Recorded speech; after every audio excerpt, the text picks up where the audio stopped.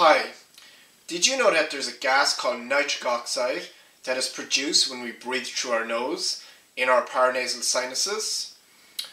Also, did you know that nitric oxide has antiviral and antimicrobial qualities and properties? There has never been a more important time to harness the power of this natural gas that is produced inside our bodies. Welcome to Your Breath YouTube channel. My name is Brian Murphy and I work as a Buteyko breathing practitioner. I also have a background in education for nearly 20 years.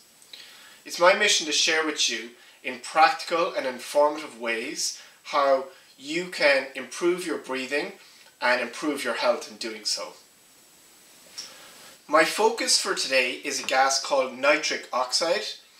Amazingly, the less volume of air we breathe through our nose, the greater the release of nitric oxide into our bloodstream.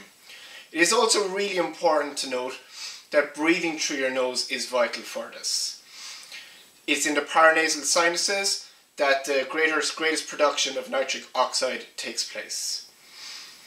This amazing fact of breathing less and having a greater release of nitric oxide was first discovered by a man called Lundberg a Swedish researcher, and I'll put a link to that research paper in the comment box below. This amazed me when I first learning, started learning this technique because the Buteyko breathing technique focuses on training you to breathe primarily and always through your nose as a habit and also to breathe less. Also, in 1998, three men won the Nobel Prize for Medicine and Physiology uh, by discovering the properties of nitric oxide in the human body. One of those properties is that it's a signaling molecule in the cardiovascular system. One of these men was called Ignarro.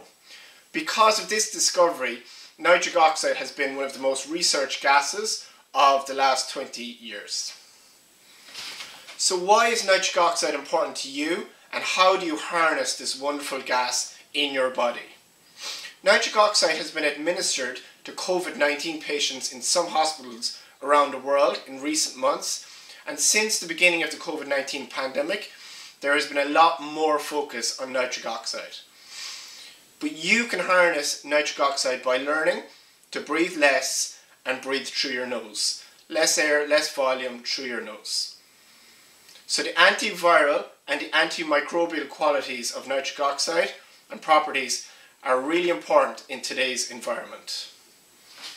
As I said already, nitric oxide has been one of the most researched gases in the human body of the last 20 years because of that great discovery in 1998. So there is much research out there.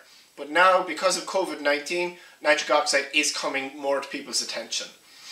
So if you have any questions about this gas and about how you're breathing and how breathing differently or learning to breathe efficiently can help you harness this gas, please leave a question in the comment box below and I'll get back to you as soon as possible. Also, don't forget to subscribe to the channel and there'll be more information and videos in the weeks and months ahead. Thank you for watching and I hope you learned something from today's video. Bye!